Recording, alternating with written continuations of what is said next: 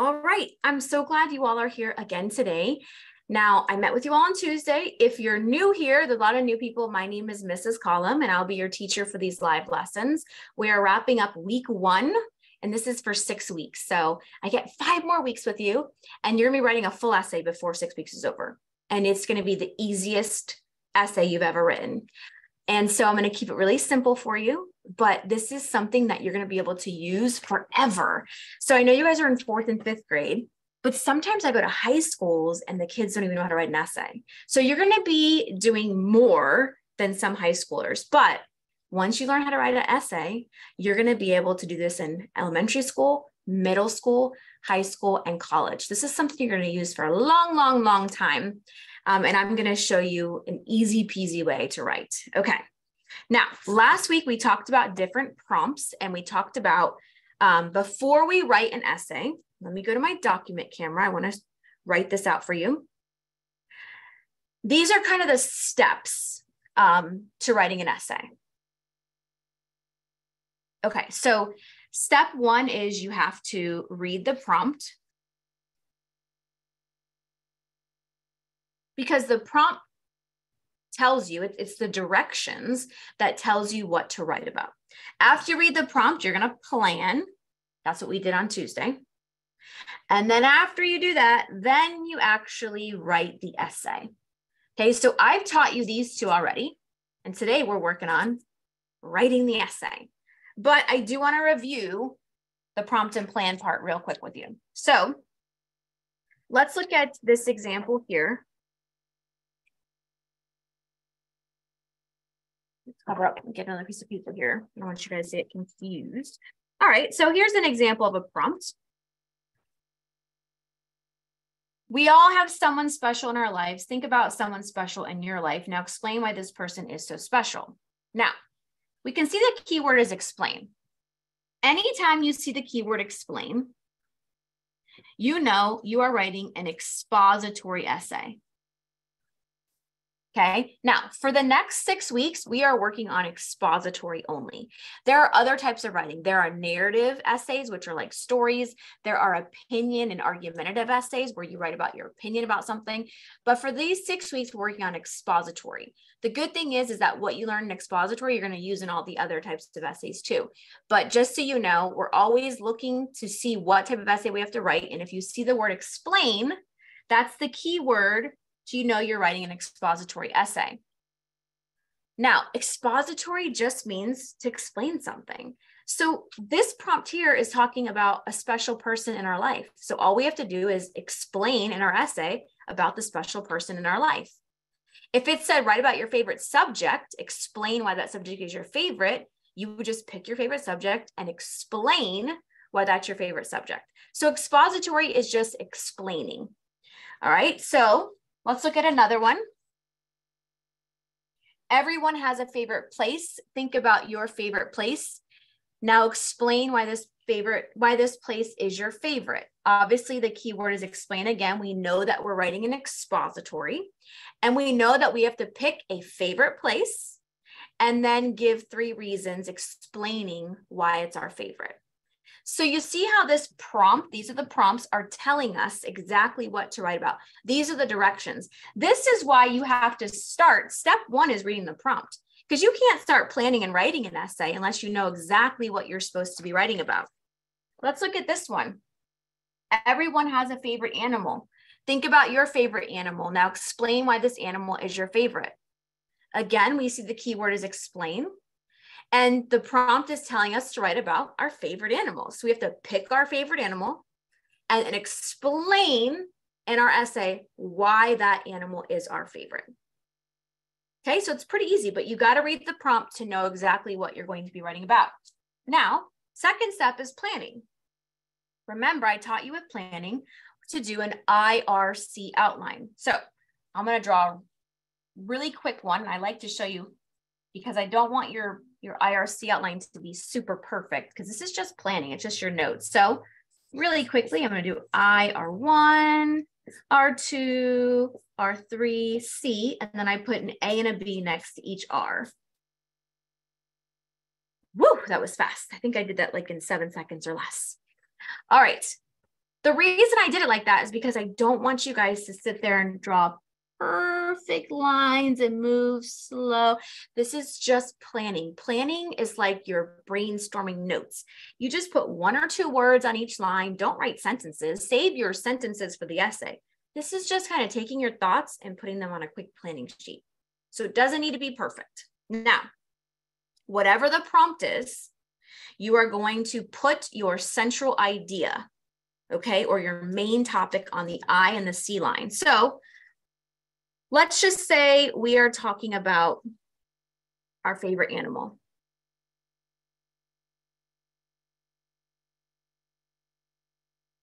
Everyone has a favorite animal. Think about your favorite animal. Now explain why this animal is your favorite. Now, let's say I pick for my favorite animal. I'm going to pick my goats. I don't know if you guys were here on Tuesday, but I have a lot of animals. I have a pig, goats, tortoises, dog, cats. But I my I picked my dog last time, but I picked my goats today. Okay, tell you something a little bit different. So whatever I pick, whatever my central idea is, okay, my main topic, I write on the I and the C line. So I'm gonna pick goat as my favorite animal. So whatever you pick, you write on the I and the C line. If I was writing about my favorite time of year and I picked summer, I'd write summer, summer. If I was writing about my favorite subject and I picked writing, I'd put writing, writing. Whatever you pick as your central idea, okay, that main topic you're gonna be talking about, you put on the I and the C line. So for favorite animal, I picked a goat. So I put goat and goat.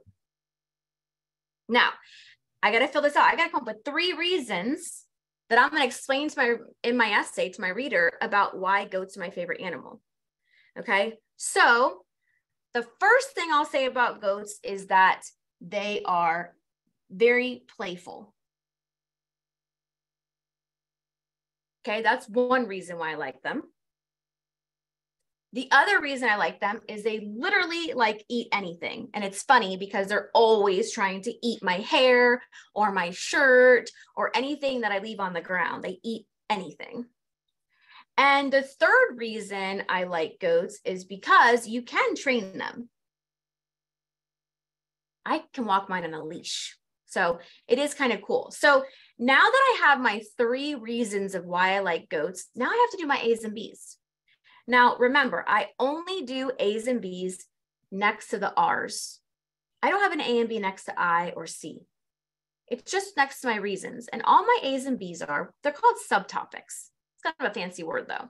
It's just two things, two examples that you want to talk about your reason. So if I wanted to write two things about goats being playful, the first thing I write about is that they literally jump on everything. Okay, they they jump on top of the doghouse, they jump on top of pieces of wood. They're just always jumping around. And the other way that play that they're playful is they always run around. Like they think that they're playing tag or something. So these my A and B are two things about goats being playful. So when I get to this paragraph in my essay, I know I'm going to say that I like goats because they're playful. But I'm not going to stop there because that's just one sentence.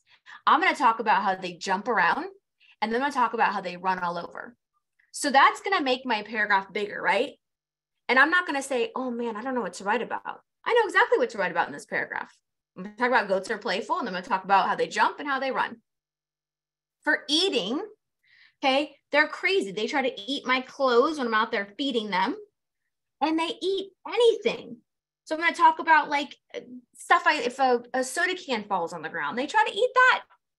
If a, a piece of paper falls on the ground, they try to eat that. So I'm going to talk about that in my essay. So when I get to this paragraph, I know I'm going to talk about how goats eat a bunch of stuff.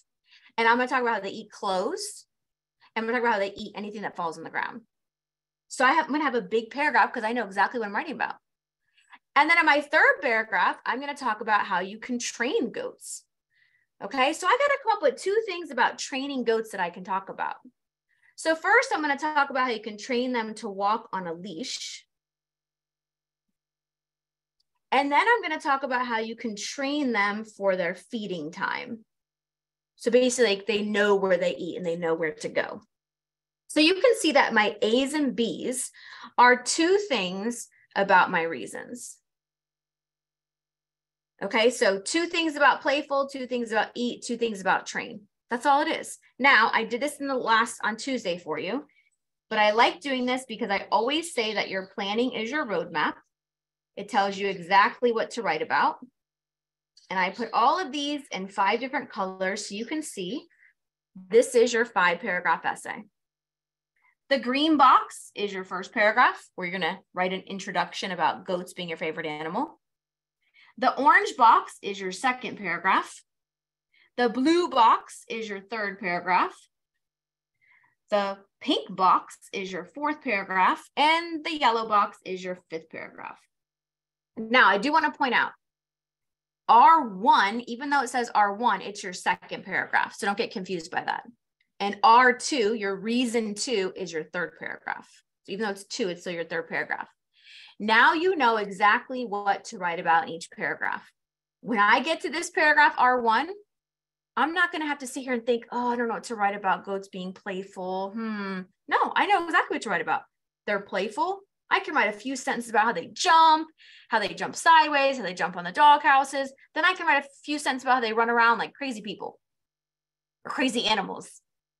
Okay, so I know I can write a lot about that. And I know when I to go to this paragraph and I'm talking about what they can eat, I'm going to talk about how they eat clothes when I'm in there. They try to get my shirt. Sometimes they eat the bottom of my pants. I'm going to talk about how they eat anything that falls on the floor. And I'm going to talk about if you drop a soda can or a piece of paper. So I know everything I'm going to write about. This is your road map. Okay. Now, if you weren't here on Tuesday, I went over this in detail how to plan. So you can go back and watch that recording. But today, we are talking about this paragraph, the I paragraph. Now, I'm going to teach you how to write all five of these. Okay. Every time we meet, I'm going to be working on these. But today we're working on the I paragraph. Okay. So let's get started. Now you can just watch for this. I'll have you writing at the end, but I really just want you to make sure you're paying attention because I'm going to show you a few examples and then you're going to do on your own. The I paragraph is the introduction paragraph. Okay, we just use I for short, but it's the introduction paragraph. It's the first paragraph of your whole essay, and it's only three sentences. It's very easy paragraph. The first sentence is called a hook. The second sentence is called your three reasons sentence. That's where you name your three reasons, which I'll show you how to do this. And your third sentence is called your closing sentence. So that's all your introduction is, is three sentences. And those are your three sentences. Now, some of you may have heard of a hook before. You may also have heard it called a grabber or an opener. They're all the same thing, but it's the first sentence of your whole essay. Okay. Think of like a fishing hook where you, you know, you hook your fish and get them you are using your hook to hook your reader and you want them to read your essay. So you're it's I compare it to a movie a lot because think about when you're watching a movie and the first like 2 minutes are really good. You get excited, you want to watch that movie. But sometimes you watch a movie and the first 2 minutes aren't good and you're like, "Ugh, I don't know if I want to watch this." Sometimes you turn it off. Think of this kind of like a movie where you want your first sentence to tell your reader what it's going to be about so they get excited and want to read it. All right, now there's a bunch of ways to write a hook, but I'm just going to show you three ways today, okay? Because I want to keep this simple. So for a hook, you could do a question. You could just do a simple statement, just a sentence. Or you could do a riddle. Now, these are all about the topic. So you could do a question about goats being your favorite animal. You could do a statement about goats being your favorite animal, or a riddle about goats being your favorite animal. So I just want to show you some examples. Let's say I wanted to do, a question about the topic about favorite animal. I could write, um, what is your favorite animal? That's a question about the topic, right? Or I could say, do you have a favorite animal? Those are two questions, right? So let me just, if you wanted to try a question hook, you could do that one or that one. If you want to try a statement, that's just a simple sentence. You could do something simple like, um, goats are one of the best animals in the world. See how I just did a simple sentence? I know it's small. I'm going to rewrite it big for you, but that's just a simple statement. Or I could do a little riddle. Okay. I could say, what kind of animal jumps sideways and tries to eat paper? Question mark. And then you tell the answer to the riddle, a goat. Okay, so those are all different types of hooks that you can do. Now, I'm just showing you different ways. You can keep it simple. Don't overthink it. If you can't think of something, just make a question. We draw some lines here. So let's say that for today, I'm just going to use, um, I think I'm just going to use the statement one. I'm just going to use a simple statement as my hook. So I'm starting a paragraph. I have to indent. You have to leave a space here. Okay, usually it's the size of your thumb if you want to measure it, leave a space. And so I'm going to, I'm going to, my hook is just going to be a simple statement about the topic. Goats are one of the best animals in the world, period. All right, so let's say our hook is going to be an orange. I'm going to highlight orange so you can see. I'm done with my hook. That's the first sentence. Now, my second sentence is where I name my three reasons. Remember, my three reasons are, look over here, playful, eat, and train. I'm not talking about my A's and B's, just my three reasons. So I'm going to say they are playful, comma, my next one is eat. They like to eat, comma, and my next one is train. And you can train them, period. Okay, so I have to name my three reasons. Let's see. Did I name playful? They are playful. Yep, I got playful. Did I name eat? They like to eat. Yep, I got eat. Did I name train? And you can train them. Yep, I got train. Okay, I named my three reasons. So I'm going to put this, my three reason sentence in yellow. Now I want you to notice an easy way to do this is after the first two reasons, put a comma. They are playful, comma. They like to eat, comma, and, and then you put your third reason. And my last sentence is called my closing. And all you have to do for closing is just say something nice about the topic. That's it. Just say something nice. Okay, so I'm going to say something nice about goats. I already said they're the best animals in the world. So I'm just going to say, everyone should have a goat as a pet. That's my, my closing. So I'm going to put that in pink and I'm done. That's my introduction paragraph. three sentences. Remember, my hook, the hook is in orange right here. I just did a statement. Then my second sentence, I name my three reasons. They are playful, comma, they like to eat, comma, and you can train them, period. Then my closing, I just say something nice. Every everyone should have a goat as a pet. Done. Remember, I only indented here. Okay, you only indent at the beginning of the paragraph and then you just, you come back over to the side here. All right. I'm gonna move a little faster because of time, but I need to show you another example. Let's say that we're talking about um, I'm going to use one that I used in another class. Let's say I'm, I'm talking about uh, summer is my favorite time of the year. Okay, let's say we're using summer is my favorite time of the year. Now, I'm going to write my introduction paragraph. I know that my introduction paragraph is three sentences, right? I know the first sentence is a hook. The second sentence is where I name my three reasons. And my third sentence is where I do my closing sentence. Okay, so I'm going to draw some lines. Forgot my line paper today. All right, so let's start with the hook.